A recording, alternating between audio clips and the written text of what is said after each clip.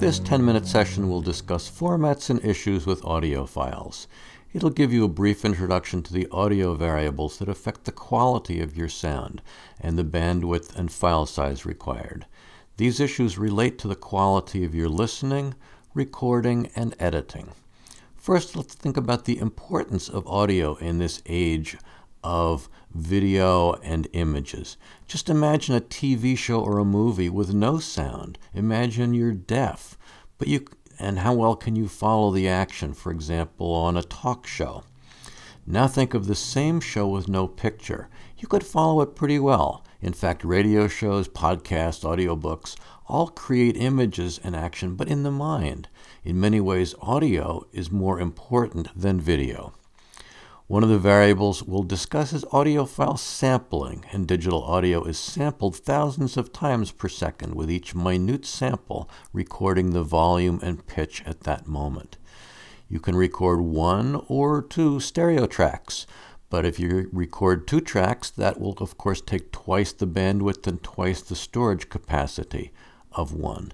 In general, the more samples per second, the higher the quality of your, quality of your audio file.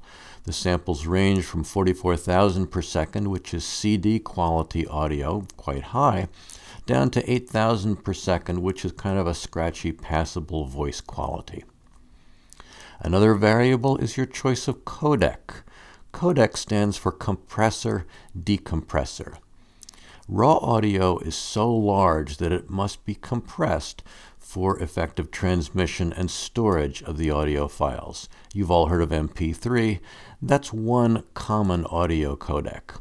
Each different codec is specialized for either music or voice, high quality or low bandwidth, for example, for effective streaming. In general, with codecs, the more compression that is applied, the smaller the audio file, and the faster it will transmit over your internet connection. But also, the more compression, the lower the quality of the listening experience. How about file type properties? You know, the three character file suffix specifies the file type. A song labeled heyjude.mp3 is a file using the MP3 codec. Since MP3 is proprietary, any software that uses it must license that codec.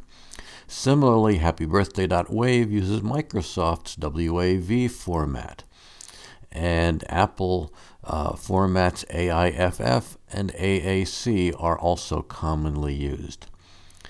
For software that desires to get away from proprietary formats requiring licensing, the OGG format can be used. For example, jailhouserock.ogg.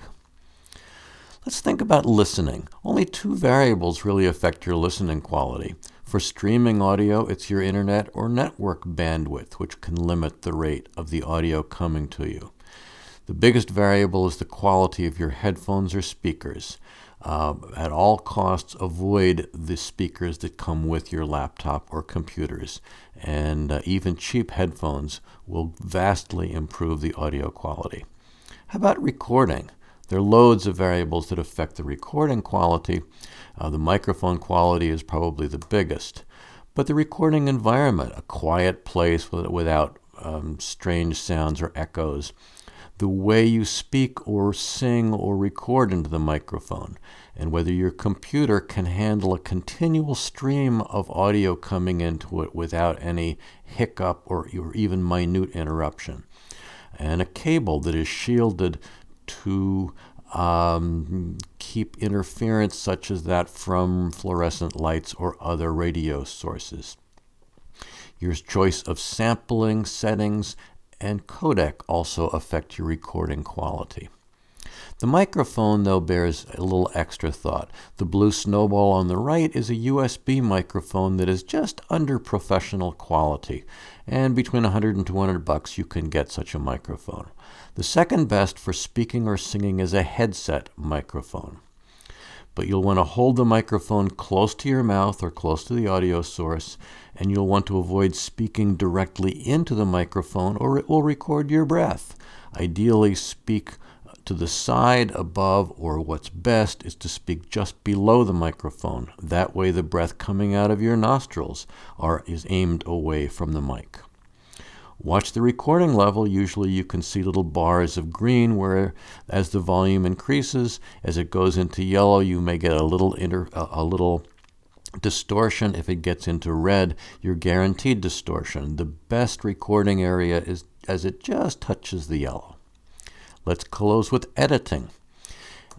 Inexpensive audio editors are something that every student and teacher should learn how to use. They're, all, they're word processors for sound. Every Macintosh comes with GarageBand. Audacity can be downloaded for any computer. In general, they operate with one track per audio source. Track is a concept you need to learn.